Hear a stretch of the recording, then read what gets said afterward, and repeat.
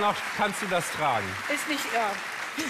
Ich sehe es ja Gott sei Dank. So, worum geht es? Wir zeigen euch ein paar einfache Übungen, die jeder im Büro machen kann. Also auch auf Stühlen. Sie können natürlich auch zu Hause mitmachen. Und damit es ein bisschen was zu raten gibt, gebe ich euch zwei Möglichkeiten vor. Und zwar zum Beispiel eine Übung, die wir Speerwerfer nennen oder eine, die Luftschnapper heißt. Wir haben bei den Krankenkassen in Büchern recherchiert, welche Übungen gibt es tatsächlich und dazu haben wir uns immer einen Fantasienamen ausgedacht. Wenn ihr glaubt, es gibt A, Speerwerfer, dann stehen die Damen auf, weil die das Band mit A tragen. Wenn ihr glaubt, nee, ich glaube an den Luftschnapper, ihr müsst euch im Team einigen, dann steht ihr auf mit B. Ja, was würdet ihr aus dem Bauch sagen? Noch ohne Werte? Speerwerfer. Speerwerfer könnte es geben, aber in dem Fall ist es tatsächlich der Luftschnapper. Punkte kassiert ihr nur dann, wenn ihr A richtig geraten habt und B die Übung auch korrekt ausgeführt habt. Also einmal bitte alle mitmachen hier und hier im Studio natürlich auch. Das ist der Luftschnapper. Egal wo Sie sitzen, wo Sie zuschauen. Das kann man machen. Ah, das, das dient. Damit ich euch im Auge behalten kann, haben wir zwei wunderbare Instruktoren. Begrüßen Sie bitte Alex und Chris.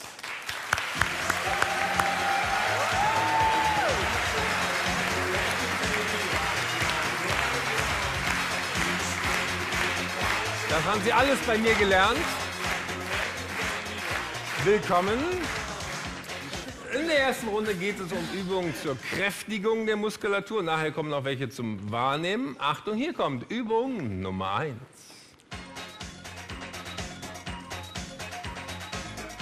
Welche Rückenübung gibt es tatsächlich? A. Salto oder B. Schraube? Was glaubt ihr? Drei Sekunden habt ihr zum Einigen innerhalb der Teams. Drei, zwei, eins. Äh, Wir sind für, was sind wir? Ja, Schraube oder Salto? äh, wir, äh, ja. Ihr sagt alle Schraube und das ist richtig, weil den Salto gibt es natürlich auch, aber das ist keine Übung, die man mal im Büro so empfehlen würde. Ihr dürft euch wieder hinsetzen, denn alle Übungen kann man im Sitzen machen. Und Alex, wie sieht die Schraube aus? Die Schraube sieht folgendermaßen aus. Wir bewegen unseren Arm nach hinten oben, folgen mit dem Blick einmal nach rechts und einmal zur anderen Seite. Mit dem anderen Arm halten wir dann das Bein fest und drehen ein bisschen entgegen in eine Spirale. Und das kräftigt dann die ähm, Rückenmuskulatur am Hals und an der Brustwirbelsäule. Schraube. Ein Punkt für alle Teams. Man kann es auch am Fenster machen.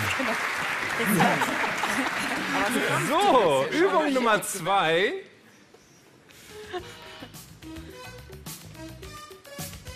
Welche Rückenübung gibt es? A, der Schulterformer oder B, der Beckenbieger? Was erscheint euch plausibler? Drei, zwei, eins. Entscheidung. Wie könntest du dir den Beckenbieger vorstellen, Sie, hat Bernhard? gesagt, sie hat gesagt, ich soll aufstehen. Ich dachte so, ne, dem Becken, dass Nach man die vorne, ein genau. bisschen Ja, für den Rücken. so für tiefere Rücken, dass man ja, Ja, das kann man sicher auch im Büro machen. man kann selber machen Selber oder wo immer. beim Sitzen. Also fragen wir doch mal die Experten. Alex, was gibt's denn tatsächlich? Also es gibt tatsächlich den Schulterformer und der geht Ah. folgendermaßen. Und zwar nehmen wir die ähm, Arme auf Schulterhöhe und wir haben einen rechten Winkel in dem Ellbogengelenk und wir bewegen dann die Arme nach hinten und wieder nach vorne. Nach hinten und nach vorne. Und das kräftigt dann die Schultermuskulatur. Ah, schön, die Schulter formen. Und äh, ich möchte einmal,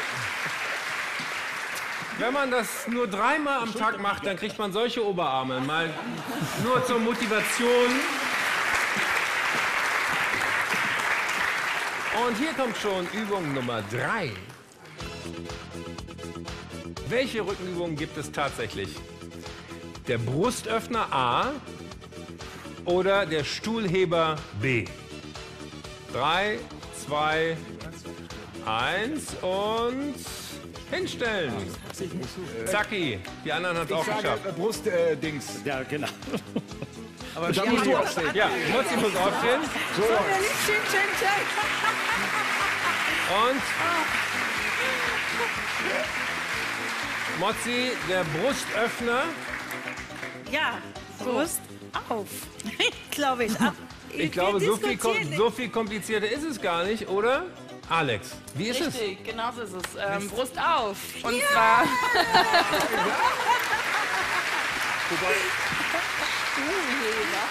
Arndt, Nicht uninteressant wäre ja auch der Brustheber.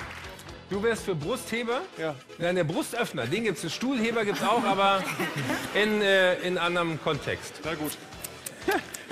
Und Alex, wir wollen es bei dir sehen. Wie geht der Brustöffner? Das ist die dritte und letzte Übung in unserer Serie. Ja, und zwar bewegen wir einmal erst die Schultern nach vorne und dehnen ein bisschen den Rücken.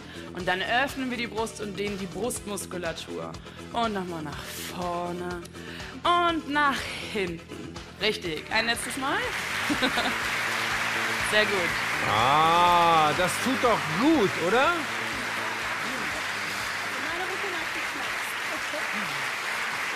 Und ich darf verraten, alle Teams haben wunderbar mitgespielt und hätten wir seit den 80er Jahren alle so ein paar kleine Übungen gemacht, hätte keiner von uns Rückenprobleme. Dreimal 20 Punkte, sensationell und wir begeben uns wieder gleich in die Realität. Ein Riesendankeschön an Alex und Chris. Und wenn Sie jetzt zu Hause neugierig sind, Mensch, ich möchte die Übung nachmachen, auch heute im Jahr 2014, auch ohne diese Klamotten, egal wo Sie stehen, Sie können diese Übung auf quiztesmenschen.de auf unserer Internetseite finden. Es ist einfach was für seinen Körper zu tun. Man braucht keine Anmeldung im Fitnessstudio, man braucht keine besondere Kleidung. Überall, wo wir sitzen, können wir wieder fit werden.